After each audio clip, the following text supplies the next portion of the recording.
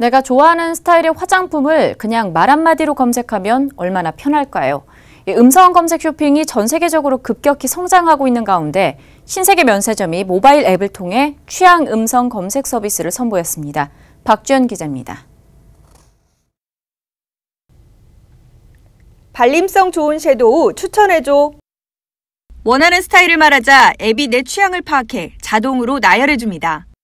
신세계 면세점이 면세업계 최초로 AI 음성 취향 검색 서비스를 선보였습니다.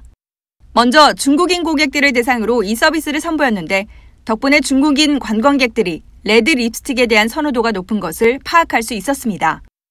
AI 취향 검색 서비스를 도입했는데 중국인 고객들이 원하는 게 진짜 무엇인지 그 쇼핑 needs를 알 수 있었어요. 저희가 한번 분석을 해보니까 색깔 취향이라든지 이들이 원하는 거는 인기 있는이라든지 추천할 만한 가성비 있는 이런 부분을 더 원한다는 걸 알게 됐습니다.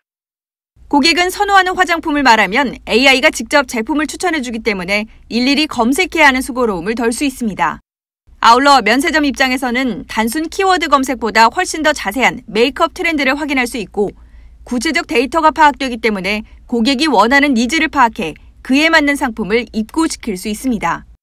저희가 이제 아무래도 데이터가 쌓이다 보면 더 고객들한테 더 적합한 그들이 원하는 그 브랜드나 제품들을 그 입고를 시킬 수 있고 그렇게 되면은 고객들이 쇼핑 만족도를 높일 수 있지 않을까 생각합니다.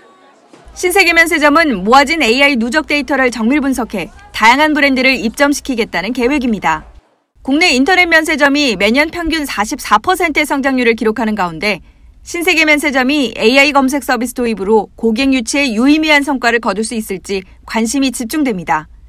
팍스경제TV 박주연입니다.